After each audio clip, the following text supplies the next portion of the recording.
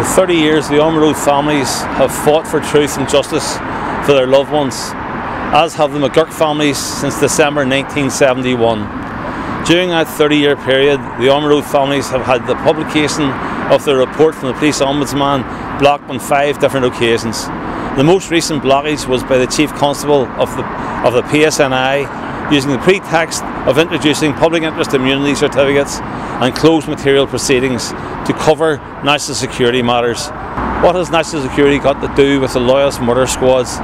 Why is the establishment so resistant to release the relevant documentation for inquests or investigations? We already know from our prior disclosure that the RUC and MOD had a hand in the murders of our loved ones, from the handling of the weapons, the setting up of the massacre, or indeed the cover up of both Ormeau Road and McGurk's massacres.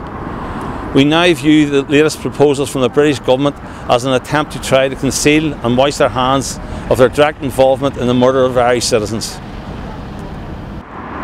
The British government policy intent to introduce unconditional amnesty is absurd, immoral, and in breach of their human rights obligations. It has been rejected domestically and internationally by all key stakeholders and human rights organisations. But most importantly of all, it has been rejected by we, the families whose loved ones were murdered by loyalist death squads with the full knowledge of Britain's intelligence agencies.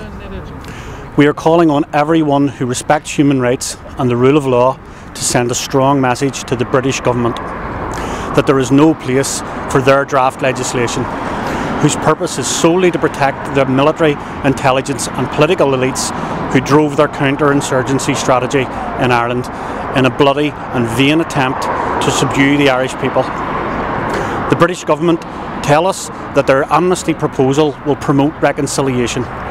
In contrast, it will have the opposite effect. It will hinder and undermine reconciliation, create further division, and sow the seeds of further instability. Brandon Lewis recently referred to the cost of legal aid for legal or uh, legacy cases. In reality, the truth costs nothing.